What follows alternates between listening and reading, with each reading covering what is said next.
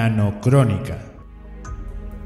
Una novela de Susana Hidalgo de la Fuente. Capítulo 7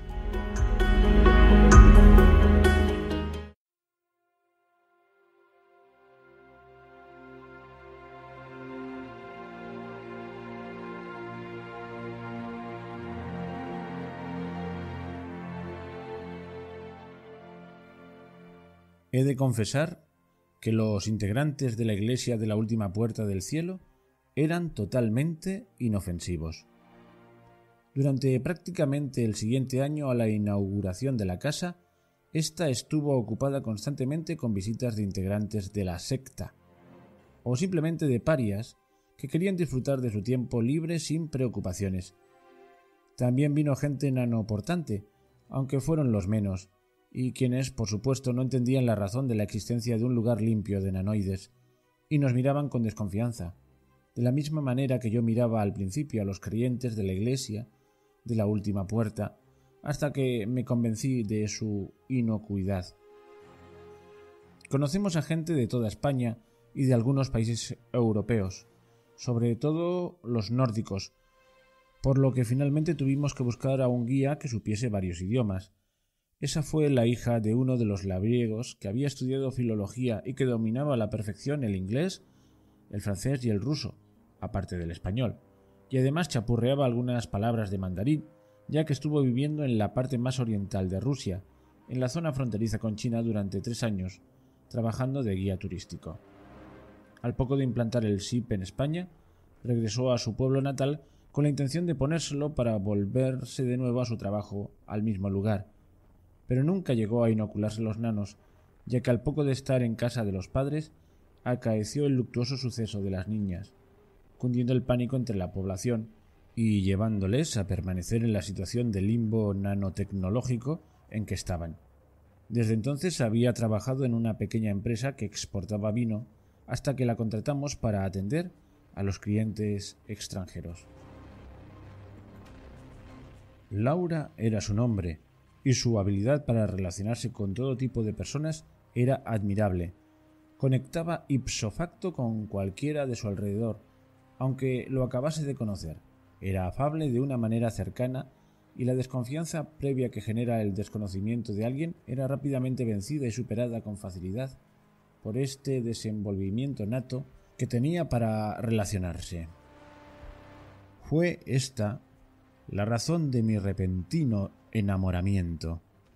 En cuanto la conocí, me deslumbró su amabilidad y cercanía, y no podía pensar en otra cosa que en su permanente compañía, en oír su voz y su risa, y en sentir cerca la tibieza de su cuerpo. Tan enamorado estaba de ella y tal cara de arrobo ponía cuando la veía, que Inmaculada se burlaba de mí y me insistía en que le dijese algo, pero yo, a pesar de mi edad, era harto pacato en estos temas y me abrumaba su desenvolvimiento y seguridad en sí misma, acobardándome como a un niño. Esta misma firmeza de carácter me obstruía la razón y hasta me entorpecía el físico, convirtiéndome en un torpe desatinado en cuanto su presencia estaba cercana a mi persona, transformándome en un sujeto alelado a la par que patoso, con lo que al cabo de unos meses rehuía su compañía porque entendía que la imagen que daba solo conseguía menoscabar mi verdadero yo, que se escondía en lo más recóndito de mi ser, asustado por tanta perfección como veía en ella. Pero mi plan magistral no surtió efecto, porque entonces era Laura la que me buscaba a mí inconscientemente, ya que según me confesó más tarde, se estaba enamorando también sin haberse percatado de ello. En estos dulces previos estuvimos casi medio año, hasta que por fin me decidí a declararme porque ya no soportaba más la presión. Prefería el rechazo a esta insufrible duda por saber si sería aceptado. Mi declaración fue sencilla y hasta algo simple, nada alambicada. Una de las veces que estábamos a solas tratando de uno de los grupos que venía del extranjero, se lo solté sin más, así, de repente, porque llevábamos ya media hora reunidos tratando de clientes y yo no estaba escuchando en absoluto nada de lo que ella me decía, huyéndome el cerebro con la idea de mi declaración y acelerándoseme el corazón por la encrucijada en que me encontraba. Laura no reaccionó al principio. Dijo dos o tres titubeantes palabras más acerca del grupo que vendría en dos días, y después se quedó callada, mirándome inexpresiva durante unos segundos, que se me hicieron horas tortuosas, al cabo de los cuales me preguntó ¿En serio te has enamorado de mí? Hasta la última célula de mi organismo lo está. Quiero salir contigo y quiero casarme y tener hijos porque estoy seguro al cien por cien de que estamos hechos el uno para el otro. Lo siento cuando estoy contigo y cuando tú no estás. Debemos estar juntos. ¿Debemos estar juntos así, sin más? Sí, y me gustaría casarme, pero eso lo dejo en tus manos. Ah, es que ya, ya das por hecho que voy a salir contigo. Y soltó una carcajada encantadora, mostrándome todos sus dientecitos blancos y bien alineados. Después me contestó Déjame que me lo piense. Es seria la proposición que me has hecho, y eso requiere una reflexión igualmente seria. De acuerdo, uff. Por lo menos no me has dicho que no. Ella volvió a reír y me soltó un ¿quién sabe? que yo traduje enseguida por una aceptación de mi proposición.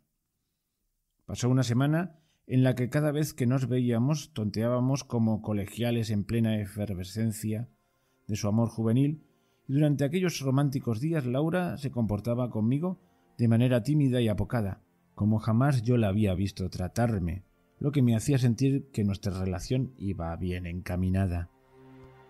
Mi premonición fue certera por completo, y cuando el grupo de extranjeros abandonó la casa rural, Laura accedió a salir conmigo, dejando abiertas todas las posibilidades futuras y acordando que iríamos progresando en la relación poco a poco, y sin presiones ni prisas. Para mi sorpresa, esa Laura dicharachera, directa y desinhibida, se transformaba en una tímida muchacha cuando nos encontrábamos a solas, y me costó bastantes semanas conseguir esa complicidad imperceptible que tienen las parejas que realmente se compenetran, que no necesariamente tienen que ser las que están enamoradas. La comprensión a la que me refiero proviene del respeto y la aceptación de uno mismo y del otro tal como es, sin esperar nada a cambio y sin tener que fingir o ceder en nada cuando estás junto a la persona adecuada. Estuvimos alrededor de diez meses conociéndonos, tiempo durante el cual me propuso unas ideas muy originales para aumentar la producción de la finca. También me aconsejó y me animó a comprar más terrenos para abastecer la creciente demanda de productos de la gente de la comarca, que se acercaba en verdaderas manadas a comprarlos porque habían adquirido fama en toda la región por su buena calidad y sus bajos precios. El informático que se ocupaba de la casa rural tuvo que implementar en ella una ampliación para poder vender los productos, ya que todos los parias los demandaban sin parar. Durante ese tiempo también compramos otra casa en el pueblo, esta mucho más grande que la primera y con espacio para 15 personas. Tuvimos también que reformarla enteramente con el mismo estilo que la primera, y en cuanto abrió se llenó por completo, teniendo el mismo éxito que tuvo la primera. Ni a pesar del administrador tuvimos que contratar a más personal para la casa y para los nuevos terrenos que dedicamos al cultivo del cereal, y las zonas más cercanas al río las reservamos para las hortalizas y los frutales. Yo ya me parecía un hombre de negocios, de reunión en reunión con el personal de la finca, con los transportistas de los pedidos de los productos que servíamos, con los encargados de las dos casas rurales. No tenía tiempo de nada, y el poco tiempo libre que me quedaba lo pasaba junto a Laura, que era lo que más me apetecía siempre. Con tanto trabajo y detalles que resolver diariamente, y a pesar de que Antonio me ayudaba mucho, abandoné casi por completo mi estudio de los libros de Ramón, porque el tiempo no me daba para más, y las conclusiones que extraía eran desalentadoras. No me llevaban a ningún sitio. Solamente tenía cientos de palabras apuntadas en un cuaderno sin orden ni concierto y sin un hilo conductor por el que guiarme. Era un caos en el que no conseguía dar con el principio para poder llegar al fin. Durante todo ese tiempo seguimos conociendo a mucha gente de toda España y Europa que venían a nuestra finca a descansar en uno de los escasos reductos que sobrevivía aún en el primer mundo libre de nanotecnología. Para entretener a los visitantes, organizábamos talleres de los más diversos temas, todos ellos prácticos, sobre cómo elaborar productos artesanos de cualquier tipo, tanto comestibles como objetos de uso cotidiano, y algunos más teóricos acerca de la observación de la naturaleza. No sé si fuimos conscientes durante aquel periodo, pero nos estábamos sumiendo en una brecha nanotecnológica y digital de la que no queríamos salir. Estábamos en el cielo viviendo tranquilamente sin los nanoides, aunque yo siempre tenía el resquemor de que aquello no duraría eternamente. Los cursos de utilidades, como les bautizamos, tuvieron tanto éxito que mucha de la gente que venía a visitarnos lo hacía únicamente porque podían aprender a hacer cosas con sus propias manos, y nosotros les abastecíamos de los productos necesarios para ello. Tanta llegó a ser la demanda que se nos ocurrió la idea de crear un centro oficial de enseñanza de saberes tradicionales, un día en que Inmaculada dijo que aquello parecía un colegio con tanto niño aprendiendo a hacer cestos de mimbre. Laura y yo nos miramos en el acto y Antonio echó a su mujer una mirada fulgurante, de manera que si los ojos fuesen fuego ella habría quedado calcinada al instante. Nos propusimos crear una academia para que todos esos oficios y saberes antiguos tradicionales no se perdiesen y para recuperar y aplicar aquellos que nos fuesen de utilidad, porque ya sospechábamos que aquel Edén se nos vendría abajo en cualquier momento, y cuanto más aprendiésemos a autoabastecernos, y cuanto más enseñásemos a la gente a hacerlo, menos poder tendría el Estado sobre nosotros. Aquel era un proyecto de envergadura. No era lo mismo que criar vacas, cultivar campos o llevar las casas rurales. El proyecto de crear una escuela de oficios tradicionales para enseñar era mucho más complejo. Durante todo un año estuvimos buscando concienzudamente a gente que se prestara a dar clases sobre sus conocimientos artesanales. Antes de abrir las puertas del centro quisimos tener todo bien organizado para la enseñanza. Conseguimos hacernos con tres profesores que tenían experiencia docente en los centros oficiales y otros cinco que enseñaban diferentes oficios y conocimientos tradicionales y útiles. Sobre todo lo que buscábamos con aquella idea era enseñar actividades prácticas que se pudiesen aplicar a la vida diaria. Redactamos varios manuales con los contenidos de las disciplinas que íbamos a impartir y que ningún otro centro de estudios cubría. Como la finca y las casas rurales daban suficientes beneficios para mantener todo y pagar los sueldos de los trabajadores y adquirir todo aquello que no producíamos nosotros, decidimos abaratar al máximo el dinero que los alumnos habían de pagar por ir a clase y los manuales de enseñanza se colgaron gratuitamente en la página del centro en cuanto tuvimos los permisos pertinentes para poder abrir las puertas. Como no se trataba de ningún tipo de conocimientos oficiales, no nos fue difícil conseguirlos, porque era una academia marginal de unos cuantos parias inadaptados que luchaban contra la corriente del cambio y del bienestar nanotecnológico. A pesar de todos los años transcurridos desde la aplicación del SIP, los pro-nanotecnológicos no comprendían que lo que nos movía a los parias era la lucha por la libertad de elegir y que no estábamos en contra de ningún avance de la ciencia, lo que buscábamos era poder tener la libertad de elegir si usarlo o no, pero no una libertad acartonada y teórica, inaplicable en la práctica. Queríamos una libertad real que poder aplicar a nuestras vidas. Buscábamos ese derecho de elección practicable y no una elección virtual que llevada al día a día era inútil porque no se podía usar, dadas las trabas burocráticas y de todo tipo que te ponía el Estado para que pasases por el aro. La tan elogiada voluntariedad del SIP no era real, solamente era teoría. Con todo el jaleo por el trabajo extra que tuvimos con la puesta en marcha de la escuela de oficios, nos pilló completamente por sorpresa el embarazo de Laura. Pero qué sorpresa más deliciosa. Aún no puedo expresar las sensaciones que me invadieron cuando me comunicó la buena nueva, y mucho menos cuando pude sostener entre mis manos aquel pedacito de vida palpitante que luchaba enérgicamente por hacerse un hueco entre las nuestras.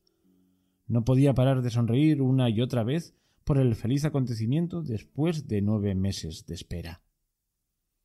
Nos planteamos qué hacer con el bebé, ya que ella no tenía el SIP y yo no quería perjudicar al niño. Fue una decisión largamente meditada. Hicimos interminables listas de pros y contras que terminábamos por desechar, comenzándolas de nuevo.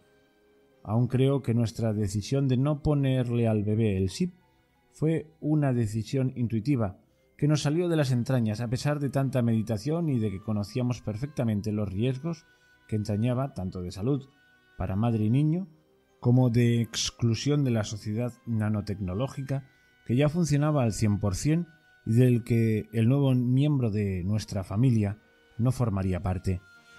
Aunque aquel era el menor de nuestros males, ya que nuestro hijo podría ponerse siempre que quisiese los nanoides.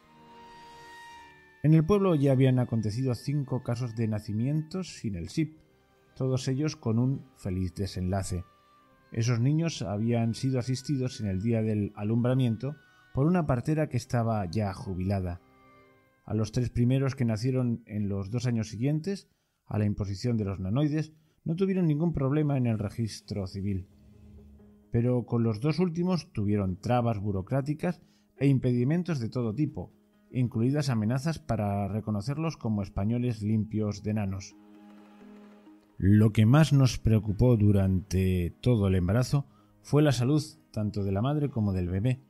A pesar de nuestros temores, todo marchó divinamente hasta el día del parto. Aquel día se torcieron todas las cosas que se podían torcer. Faltaban aún unos 15 días para que Laura saliera de cuentas cuando comenzó a tener dolores a media mañana.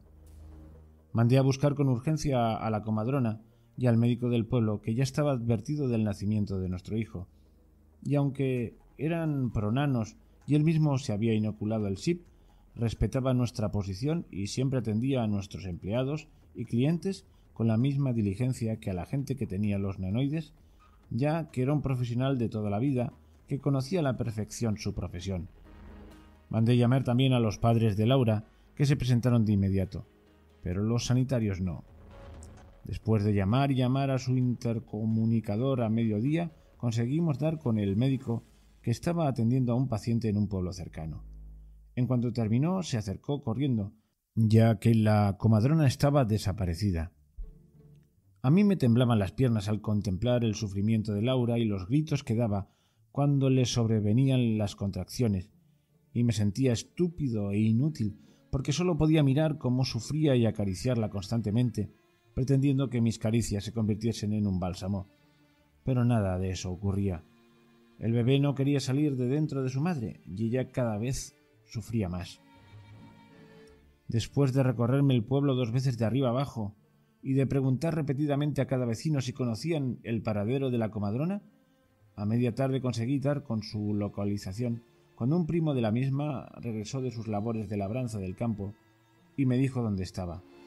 Se había ido a pasar el día a unas termas cercanas que tenían aguas salutíferas. Llamé enseguida allí y pude hablar con ella, comunicándole la preocupante situación y advirtiéndole que en aquel mismo instante estaba conduciendo hacia allí para recogerla. Cada dos minutos llamaba a la finca para ver las evoluciones de Laura, hasta que su propia madre me tuvo que decir que no llamase tan a menudo porque les estaba poniendo a todos más nerviosos. No sé cuánto tiempo duró el trayecto hasta las termas, media hora aproximadamente, pero a mí cada minuto que pasaba me arañaba el alma como el afilado escalpelo con el que el cirujano abre la carne del paciente. Metí en volandas a la comadrona en el coche tan rápidamente que no le dio tiempo ni a saludarme y regresé corriendo a la finca, anunciándoles la buena nueva de que llevaba el remedio conmigo. Durante el trayecto le informé del desarrollo del día. Llegamos casi anochecido y con el tiempo justo de recoger al niño al nacer, ya que el parto era inminente. Yo me paseaba como un león enjaulado por la habitación hasta que la madre de Laura me obligó a sentarme a su lado, para que me apretase la mano con cada empujón. Y vaya si apretaba. Era increíble la fuerza que fue capaz de desarrollar aquella noche. me dejó la mano destrozada, aunque yo no me di cuenta hasta el día siguiente, cuando la noté resentida. A la hora de haber llegado nació el bebé. Era una niña, una niña preciosa. Habíamos discutido durante los nueve meses acerca de los posibles nombres y finalmente conseguimos reducirlos a dos. Lucía si era niña y Pedro si era niño, con lo que a nuestra hija la llamamos Lucía. Después de los apuros de aquel día, las dos mujeres de mi vida estaban bien. La comadrona se quedó allí toda la noche hasta que la niña mamó y finalmente ambas se quedaron dormidas cuando alboreaba. Estuve todo el primer día mirando sin cesar a mi hija y cogiéndole las manitas, porque no me podía terminar de creer que yo hubiese tenido parte en la creación de algo tan perfecto y tan hermoso. Laura, aunque cansada, se recuperó bien del trance, y Antonio no hacía nada más que darme palmetazos en la espalda, felicitándome. Gracias a Ramón a mí no me faltaba el dinero, pero habiéndome criado en la cultura de la escasez y el ahorro, aproveché todo lo que me dieron los vecinos del pueblo, incluso la cuna y el cochecito de segunda mano, y no tuve necesidad de comprar casi nada. Al mes del nacimiento nos hizo una visita Matías. Hacía algo más de diez años que no iba a la finca, ya que Ramón no la frecuentó en sus últimos años de vida. Se quedó completamente atónito al visitarla y comprobar todo lo que habíamos conseguido allí. Teníamos la vaquería con su quesería, los cerdos para carne y matanza, numerosos pavos y gallinas, todos los cultivos tanto de cereal como de huerta, además de las casas rurales, el centro de oficios y los sistemas de envío de productos. Después de pasar toda la mañana visitando todo, por la tarde, después de comer, tuvimos una reunión con los capataces de la finca, que ahora eran dos, Antonio y Rodrigo, los encargados de las casas rurales y el labriego que llevaba las siembras. Nos comentó que la finca estaba empezando a llamar la atención de las autoridades por el gran volumen de negocio que teníamos.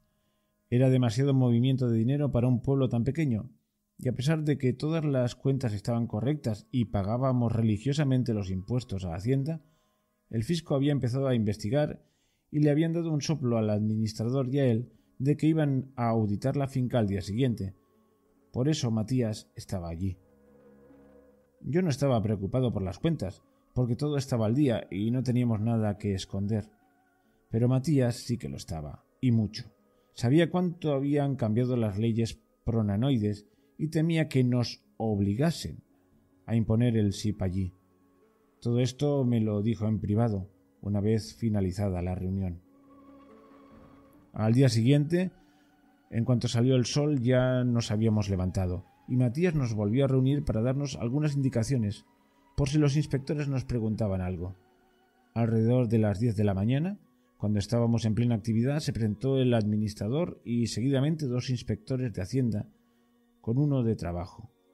Ya en la ciudad, la semana anterior, el administrador les había enseñado la contabilidad de la empresa, pero no se quedaron conformes y sospecharon que querrían venir a la finca. Y la verdad, no entendía el porqué en un principio, pero después de su visita me quedaron muy claras sus intenciones. Estuvieron un par de horas merodeando por todos lados y preguntando al azar a algunos empleados, quienes contestaban como podían según las indicaciones que Matías nos había dado, y los más intentaban esquivarlos en la medida de lo posible. Después de husmear todo lo que quisieron, se despidieron con una amplia sonrisa y nos comunicaron que seguramente tendríamos una sanción porque sobrepasábamos con creces el volumen de negocio y empleados sin tener el SIP. Yo estaba que trinaba cuando se fueron, y mi mal humor duró toda la tarde, porque no entendía por qué nos sancionaban si todo lo teníamos en regla y éramos gente honrada que pagaba los impuestos. Matías intentó tranquilizarme, advirtiéndome que aquello se pondría mucho peor en un futuro no muy lejano, porque cada vez se estaban sacando más leyes de la manga para poder implantar el SIP en toda la población, si no por la fuerza, sí forzosamente. A mí aquello me parecía una desfachatez y una cobardía. Si querían poner los nanoides a todo el mundo, que lo obligasen como habían hecho muchos países y punto, y que se dejasen de subterfugios. Durante la semana siguiente Esperé con temor la llamada del abogado, porque ya me esperaba cualquier cosa. Efectivamente, la tal se produjo a los diez días de la visita, y por supuesto el Estado no había perdido ocasión de penalizar a la gente honrada, pero que se oponía a sus políticas pronanos, como venía siendo habitual en los últimos años. Le pregunté a Matías si no había forma de eludirle la multa, y me dijo que lo que él podía hacer era retrasar lo máximo posible el pago interponiendo quejas y moratorias, hasta que no quedase más remedio que pagar, y me advirtió que había llegado a sus oídos que estaban preparando un proyecto de ley para impedir en la práctica cualquier tipo de comercio exento del SIP. Convoqué una reunión con todos los empleados y capataces para explicar la situación y comprobar si a algunos se nos ocurría una idea feliz con la que hacer frente a esta nueva ley y evitar la nanotecnología en la finca, siguiendo al mismo tiempo con nuestros negocios. Fue el hijo menor del labriego de unos 19 años quien nos dio la iluminación, cuando ya se había formado un barullo tremendo entre los que abogaban por acatar el SIP y los que nos oponíamos radicalmente a ello. Solamente necesitó una palabra para callarnos a todos. Autarquía. Todos nos callamos de repente, la mitad porque no sabían lo que significaba aquel término y la otra mitad porque entendíamos que aquello era demasiado idealista para llevarlo a cabo. Le dimos la palabra al chaval para que expresara su idea y nos dejó a todos atónitos por la claridad de su visión del futuro a pesar de su juventud. Autarquía, pero no en el sentido político de la palabra, sino en el sentido de la autosuficiencia. Esta tiene que ser nuestra meta. Tenemos que intentar ser autosuficientes en la medida de nuestras posibilidades e intentar depender lo menos posible del exterior. Está claro que el Estado quiere forzar la situación para imponer forzosamente la nanotecnología como premisa para controlarlo todo. Un murmullo comenzó entonces a recorrer el comedor de la finca, en el que nos apiñábamos como podíamos unas cincuenta personas. No sé cómo veis vosotros el problema, pero yo lo veo con claridad y se lo vengo diciendo a mis padres desde hace ya dos años. Vamos camino del control del individuo. No pude evitar acordarme entonces de las ideas conspiranoicas de Ramón. Aquel chico parecía su reencarnación era como si un hombre con la experiencia de toda una vida a sus espaldas hablase por su joven boca. Eso es lo que están intentando hacer con los nanoides, controlar a la población de una manera sencilla, y lo peor de todo es que casi la totalidad de las personas han ido de cabeza a la trampa, se han metido alegremente en el matadero sin sospechar que les iban a decapitar. El murmullo crecía más y más. Ya sé que algunos pensáis que exagero porque el SIP no es tan malo como aparenta. Facilita la vida e incluso te mejora la salud. Pero eso es ahora, y es lo que nos han ofrecido y quieren que creamos para que caigamos todos en la red. Está claro que no van a mostrar sus verdaderas intenciones a la primera de cambio, porque se espantaría todo el mundo. Tienen que dejar que nos sigamos creyendo libres de amenazas, para que no se nos pase por la cabeza huir o rebelarnos. El murmullo, que en un principio era discreto, iba creciendo en intensidad a medida que el chico exponía su teoría y los concurrentes establecían conversaciones paralelas entre ellos. Por fin, fue el propio Antonio el que preguntó Pero vamos a ver, chico, ¿me estás diciendo que la nanotecnología solo vale para controlarnos? Pero, ¿para controlarnos? ¿Por qué? ¿Nos van a hipnotizar o qué? No sé exactamente cómo será el mecanismo, pero da por hecho que anularán tu voluntad de manera que no sepas ni reconocer que lo han hecho, sin necesidad de métodos arcaicos como la enseñanza, las religiones, las corrientes políticas o socioculturales o la publicidad en los que tenían que trabajar para convencerte y hacerte decantar por unos u otros. Ahora no lo necesitarán, tienen físicamente tu cerebro en sus manos. Fue entonces cuando el murmullo se descontroló y todos empezaron a hablar a la vez. Laura me miraba con ojos de incomprensión y sorpresa, y la niña se puso a llorar por el imprevisto aumento del griterío. Yo intenté calmar los ánimos, centrando de nuevo el tema de la reunión. A ver, a ver, un poco de silencio, por favor. Esperé tres segundos a que la gente me prestase atención. Independientemente de la argumentación acerca de la nanotecnología que ha expuesto Miguel y que aún está por comprobar, me parece que ha dicho algo muy interesante. La autosuficiencia. Tenemos que ser pragmáticos y tener en cuenta que nuestra situación, lejos de mejorar, empeorará con el tiempo. Van a acosarnos hasta que doblemos la cerviz.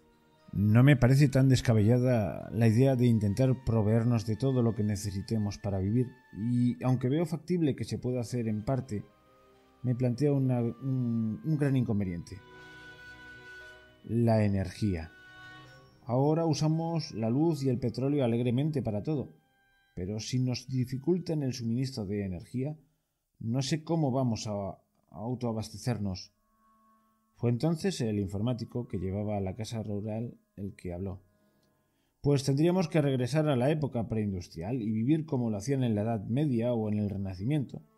Como, como los Amish, vamos. Todos se echaron al unísono encima de él llamándole loco y majadero, además de exagerado. Muchos estaban seguros de que la cosa no iba a llegar a tanto como para sumir a un porcentaje de la población en una nueva Edad Media, y a otros, muchos, aquello del autoabastecimiento le sonaba como el ideal de un dictador egocéntrico que obliga a sus súbditos a pasar penurias con tal de imponer su particular visión de la soberanía. En todo el tiempo que llevaba en la finca no me había preocupado mucho por las evoluciones de la nanotecnología, porque a mí no me afectaban, y no estaba al tanto de lo que ocurría en los lugares en los que el SIP estaba operativo y que eran ya un alto porcentaje con respecto al total. Yo calculaba que se trataba de la casi totalidad, por lo que los turistas de las casas rurales y los alumnos de oficios nos contaban. De entre todo el barullo de comentarios que los asistentes a la reunión hacían al unísono, hubo una voz que se levantó por encima de las demás. Era el segundo capataz, Rodrigo. Pablo, dijo dirigiéndose a mí lo suficientemente alto como para que la gente le oyese y se callase. Has dicho que tus abogados te han advertido de que van a cambiar las leyes para impedirnos comerciar sin el SIP, ¿no? Asentí con la cabeza vehementemente. Pues entonces no sé por qué discutimos de otros temas si, nuestra, si nuestro principal problema va a ser el dinero, ya mismo. Nuevo murmullo de aquiescencia. ¿Cómo vamos a pagar a la gente? ¿Cómo vamos a comprar algo o vender? Me parece bien que nos hagamos autosuficientes, pero ¿Cómo conseguiremos lo que no producimos si no podremos disponer de dinero? La última nota interrogativa se quedó vibrando en el aire como el acorde perdido de una amenaza que hizo a los presentes enmudecer en el acto. Yo también había pensado en aquello, pero mi mente se hallaba estéril de soluciones. Los problemas se me acumulaban demasiado deprisa como para darles respuesta, y las tareas que llevaba a cabo a diario no me permitían pararme a meditar hacia dónde me conducía. Nos conducía aquella situación. Era como una mula con anteojeras que tiraba para delante sin prestar atención a su alrededor. Alguien contestó por mí de entre la multitud. Está claro, el trueque, como en la Edad Media. Nuevo barullo rumorológico que inundaba la estancia y no nos permitía entendernos uno a otro. Aquella reunión estaba empezando a escapárseme de las manos, porque no avanzábamos hacia ninguna solución, así que opté por disolverla con la condición de que todos pensásemos en una posible salida al problema. A ver, a ver, por favor, un poco de silencio, por favor. Accionaba las manos para que el murmullo cesase. Mi intención de hoy era solamente reuniros para explicaros la cuestión Ahora no pretendo encontrar la solución al tema. Propongo que creemos un grupo que estudie nuestra situación y cómo podremos afrontar esto. ¿Quién se ofrece voluntario para el grupo?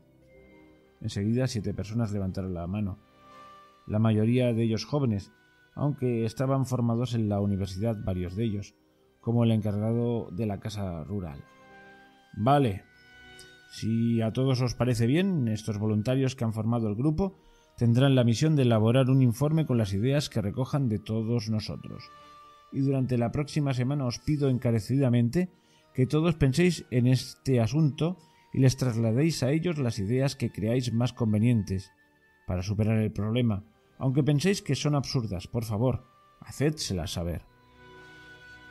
Eh, la gente estaba en aquel momento más callada de lo normal, con evidentes caras de preocupación.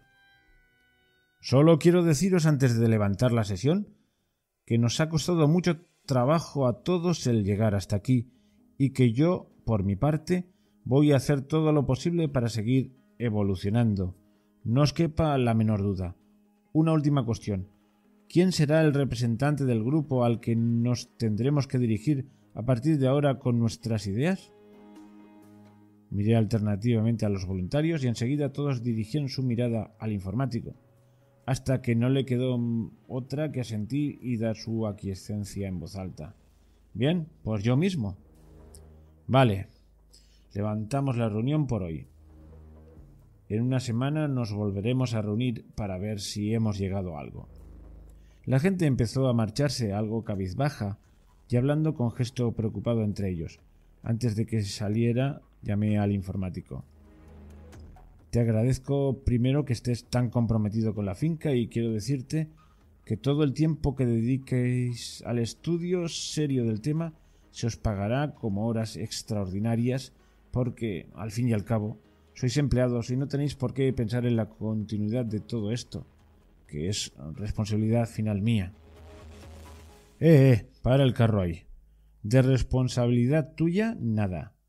¿Crees acaso que todos los que trabajamos aquí no estamos tan implicados como tú? Nadie quiere el SIP, Pablo, nadie. Yo creo que tenemos que hacer lo posible por seguir adelante mientras podamos, y cuando no se pueda de ninguna de las maneras ya veremos qué hacer. Tú nunca has obligado a nadie a ponerse o dejar de ponerse el SIP. Yo mismo lo llevo desde hace años, y aunque ya sabes que soy defensor acérrimo de la nanotecnología, no la quiero de esta forma. Así no. Mediante imposiciones y subterfugios no. Por eso estoy de tu parte y voy a hacer todo lo que esté de, eh, en mi mano por buscar soluciones aplicables. Le sonreí agradecido. Además, ¿te imaginas a mis padres teniéndose que poner el sí? Puso los ojos en blanco con un gracioso ademán de contradicción. Uy, le daría un pasmo a mi madre, con lo escrupulosa que es, se moriría si le metiesen esos bichitos en el cuerpo. Los dos nos echamos a reír como válvula de escape que nos permitió relajarnos algo. Así que no te preocupes, le diré lo de las horas extras a los otros, pero no creo que acepten. Esta es su vida y su empresa, el lugar donde viven y trabajan. No creo que quieran un extra por pensar en soluciones para que su medio de vida no fracase. Si esto se acaba, no sé dónde van a ir. Yo desde luego no quiero nada. Las mías te las ahorras para otra cosa. Bueno, vosotros veréis. Si tienes alguna duda o necesitas que hable con los abogados o los gestores para algo, me lo dices. Vale, nos vemos. Aquella semana pasó volando. Yo también me estuve quebrando la cabeza durante aquellos días para encontrar alguna salida, y Laura constantemente exponía sus ideas al aire, como si esperase que éste mismo le devolviese la solución. Ante el miedo que me provocaba la idea de no poder comerciar sin el chip, estuve meditando con ella en la posibilidad de vender todas las propiedades de Ramón para comprar en los alrededores de la finca y el pueblo otras tierras y edificios, porque prefería tener todas las posesiones útiles cerca de nosotros, ya que habíamos decidido asentarnos allí y teníamos una hija por la que mirar. A Laura le pareció bien, pero dudábamos si vender absolutamente todo para comprar o dejar en reserva alguna propiedad en algún punto de España, alejado de allí, por si acaso. Ramón había dejado a mi cargo unas cuantas casas repartidas por la geografía española y algún que otro terreno que en aquellos momentos no estaba muy bien aprovechado y al que no le prestaba ninguna atención. Ni siquiera me había dignado a visitarlos cuando él murió. Finalmente decidí vender todo excepto una casa de campo con algo de terreno que estaba en el norte, por si algo ocurría en la finca. La mayoría de las casas estaban cerradas y vacías, excepto la que quería quedarme que era atendida por un hombre que se encargaba del mantenimiento, y otras dos que también estaban fuera de los pueblos, a los que pertenecían y que eran atendidas del mismo modo por otras personas, a las que pagaba por su trabajo. Me daba pena tener que despedirlas, pero les iba a dar la opción de venirse a vivir y trabajar en la finca si querían, aunque mucho me temía que no iban a cruzar media España y dejar su vida por conservar el empleo. Pero aún así tenía el deber moral de ofrecérselo. Hablé por teléfono varias veces con Matías para comentarle mis intenciones. En un principio se opuso rotundamente a que me deshiciese sin más de casi todas las propiedades porque consideraba que uno de los beneficios de estas era su diversificación. Yo intentaba hacerle ver que de nada me servía su diversificación si en un futuro no muy lejano no podría servirme de ellas salvo para vagabundear de una casa a otra, vivir dos meses en cada una y así usarlas todas. Porque una vez que cambiasen las leyes de comercio, de nada me iban a servir, salvo por el uso que pudiese hacer físicamente de ellas. Finalmente, y después de varias largas conversaciones acerca del tema, creo que comprendió cuál era mi intención, aunque por teléfono no pude ser todo lo explícito que me hubiese gustado, porque ya no me fiaba de ningún artilugio tecnológico.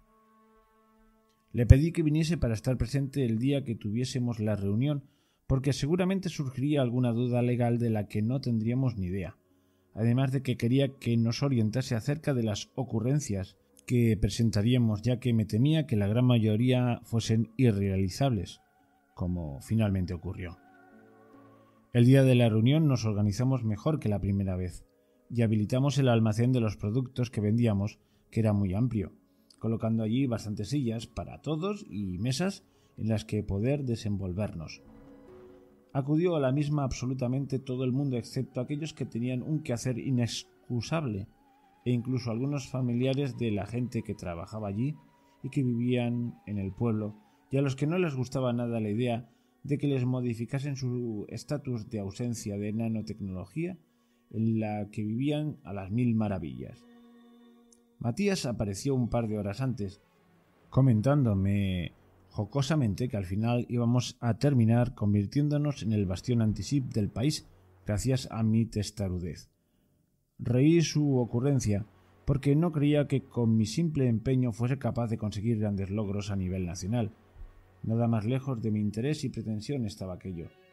Mi única intención era que nos dejasen vivir honradamente con una mínima libertad básica de elección y que ya que el Estado había decidido usar la nanotecnología a escala global en el país, solo queríamos que, cuando menos, no nos engañasen con el subterfugio de una voluntariedad inoperable en la realidad. Cuando comenzó la reunión la gente estaba expectante ante la posibilidad de que diésemos con alguna feliz idea que nos llevase a la solución. El grupo empezó a exponer ideas para intentar lograr comerciar sin dinero, que en la teoría resultaban muy convincentes, pero a las que Matías y otros de los presentes iban poniendo pegas que las convertían en irrealizables.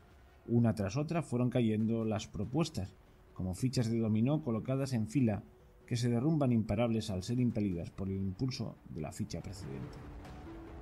Llevábamos ya una hora dándole vueltas a dos de las propuestas que nos parecían más aceptables, pero siempre encontrábamos el problema del autoabastecimiento de la energía. El combustible para los tractores y demás vehículos lo teníamos medio solucionado porque uno de los presentes tenía un amigo que era ingeniero y que tenía conocimientos de biodiesel, con lo que nos planteábamos seriamente la construcción de una pequeña planta para la producción de combustible a partir de la basura orgánica y excedentes de los cereales. Pero la electricidad era otro cantar. Hablamos de energía solar y eólica, de acumuladores, de baterías y de otras tantas bastante inalcanzables para nuestro nivel económico. Aquello suponía una inversión monetaria que estábamos muy lejos de poder conseguir, además de las innumerables trabas burocráticas a las que nos deberíamos enfrentar. Seguíamos enfrascados en el debate cuando la mujer que atendía la cocina de una de las casas rurales preguntó ¿Y cómo es posible que los de la iglesia de la última puerta sí que pueden vivir sin SIP y no les ponen trabas. En el último grupo que estuvo hace 15 días vino un pastor con el que estuve charlando y me explicó que él tenía un sueldo proveniente de los donativos de sus fieles que le permitía vivir holgadamente y dedicarse así a atender a su iglesia y a los creyentes, impartiendo catequesis varias veces en la semana para enseñar su doctrina. ¿Por qué ellos sí pueden? ¿Por qué no son una empresa ni una cooperativa? ¿El Estado no se mete con las iglesias y con nosotros sí? En ese instante Matías se levantó de su silla como si de repente una mano invisible tirase de su cabeza hacia el techo con tanta energía que me asusté y yo también me levanté al unísono con él, porque creí que le pasaba algo. Ante la expectación de la sala que nos miraba con ojos sorprendidos, el abogado chilló eufórico. Esto es, señora Sofía, esto es, una iglesia es la solución. De la sorpresa pasamos a la estupefacción y nos quedamos todos mirándole mientras seguía en pie con la expresión perdida, aislado de la realidad que lo rodeaba. Como los segundos silenciosos se me hacían insufribles, no pude por menos que preguntar ¿Una iglesia? ¿Qué quieres decir con una iglesia? ¿Nos tenemos que volver religiosos de repente? En ese momento se puso a pasear inquieto con cortitos recorridos de una parte a otra de la estancia, y cuchicheando bajito como hablando para sí mismo. Eso es, una iglesia, una iglesia, o incluso una fundación. Aún no tienen las leyes comerciales aplicadas a la nanotecnología. Ellos pueden seguir negociando y comerciando sin el SIP porque sus estatutos se lo permiten. Se detuvo de repente en mitad del almacén y levantando la voz para que todos le oyesen y mirando directamente a la concurrencia, por fin dio una explicación. Señores, la única solución viable a día de hoy es crear una fundación o una iglesia. Estas dos instituciones están reglamentadas actualmente por otra legislación distinta a la de las empresas. Es la única solución viable de momento. Alguien del fondo se levantó y preguntó en alto con voz angustiada pero ¿de verdad que tenemos que ir a la iglesia? Es que yo, aunque bautizada, nunca voy y no quiero tener que ir a misa los domingos y confesarme con un cura y... La gente estalló en carcajadas al unísono, consolando a la pobre mujer, que consternada por el hecho de creer que tendría que comulgar y confesarse, no había sabido ver entre líneas la argumentación del abogado, quien explicó de nuevo todo de manera más extensa, no sin antes darle al informático su dispositivo de anulación de emisiones, diciéndole al oído que los obtuviera entre sus manos hasta nueva orden. Mandato que yo refrendé al sentir con la cabeza, cuando él me miró dubitativo, ya que sabía que era el único de la sala portador de nanoides.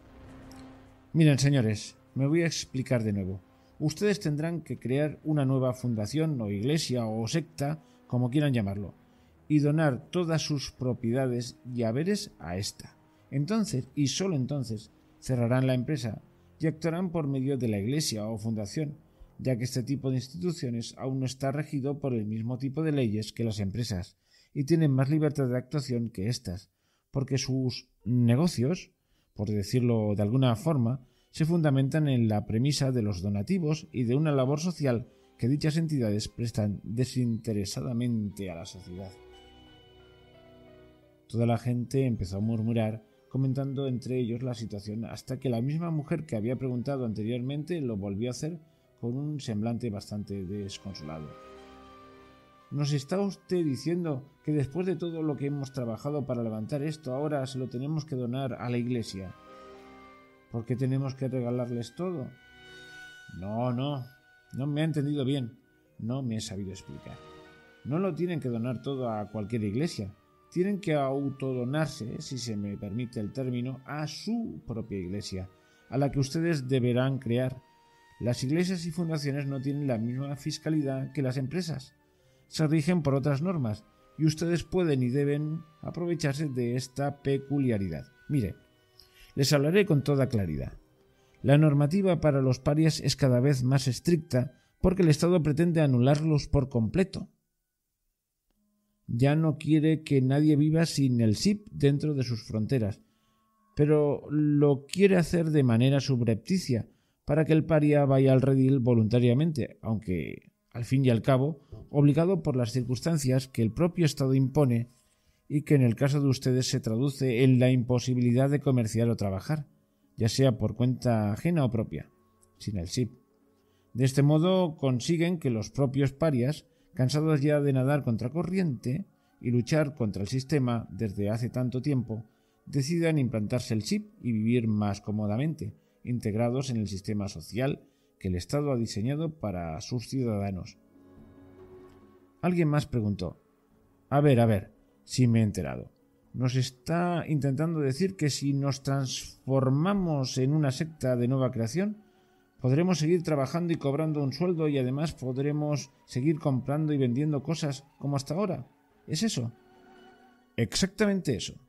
Tienen la suerte de que hasta la fecha los legisladores aún no se han atrevido a meter mano a estas entidades, ya que bastantes de ellas tienen un trasfondo turbio del que se aprovechan muchas personas.